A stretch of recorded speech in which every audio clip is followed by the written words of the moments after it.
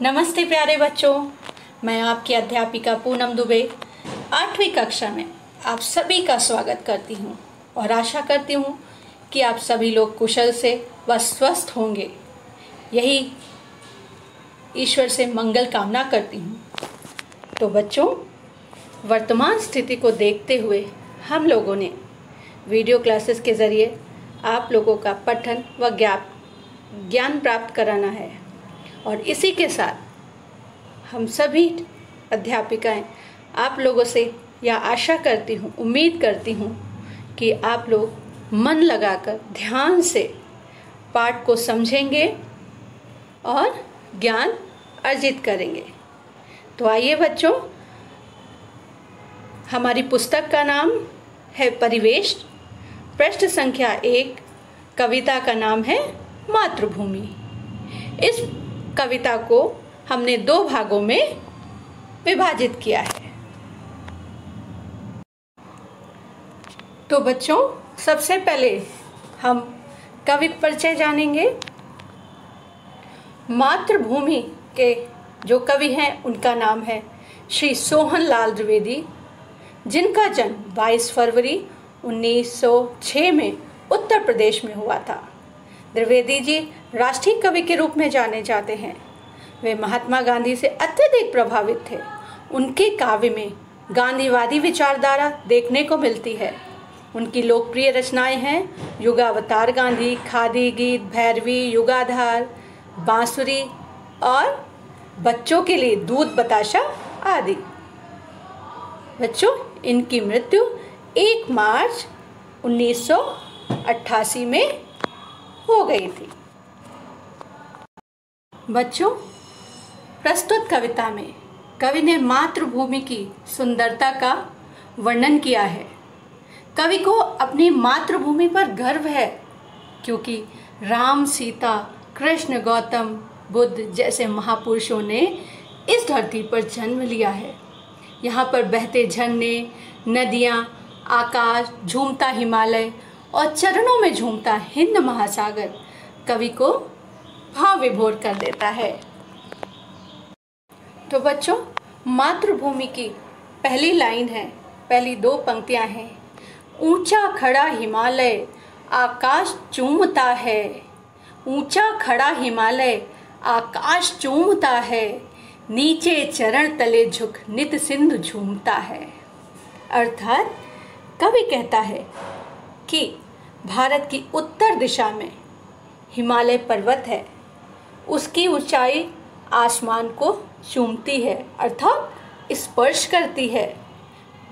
भारत के दक्षिण में हिंद महासागर है। उसे देखकर ऐसा लगता है जैसे समुद्र नीचे पैर तले झुककर भारत माता को बार बार पद को धो रहा है, उनके पैरों को धुल रहा है। बच्चों, यहाँ हिमालय, हिम का अर्थ होता है बर्फ़, और आलय का अर्थ होता है घर, यानी कि बर्फ़ का घर। बर्फ़ का घर कहाँ है? हिमालय में। सिंधु का अर्थ यहाँ पर, सिंधु का अर्थ होता है समुद्र सागर। सिंधु का अर्थ होता है समुद्र सागर। यमुना का अर्थ होता है यमुना नदी।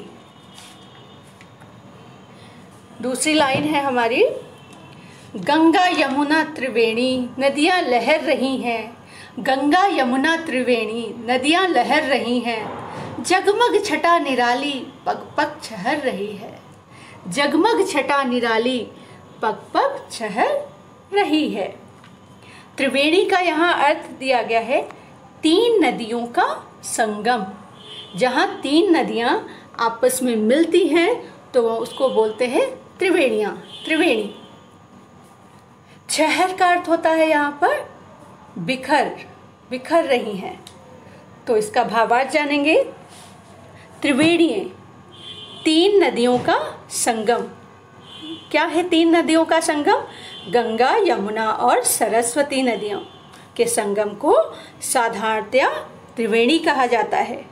गंगा, यमुना जैसी पवित्र नदियाँ भारत भूमि की शोभा बढ़ा रही हैं।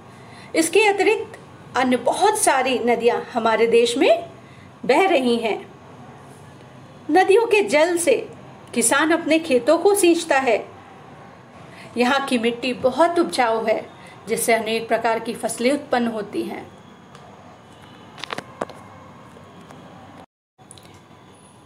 ये अगली पंक्ति बहुत ही सुंदर है। कवि ने इसका वर्णन बहुत ही सुंदरता के साथ किया है। यह पुण्य भूमि मेरी, यह स्वर्ण भूमि मेरी, वह जन्म भूमि मेरी, वह मातृभूमि मेरी। पुण्य भूमि का अर्थ होता है पवित्र भूमि। सोहन लाल जी कहते हैं, यह भूमि पवित्रता से भरी है, अतः यह मेरी पुण्य भूमि है। शस्य श्यामला फ़सलों में भरा हुआ है। यह मेरा देश फ़सलों से भरा है। अतः सोने जैसा चमकता है। अतः यह मेरी स्वर्ण भूमि है।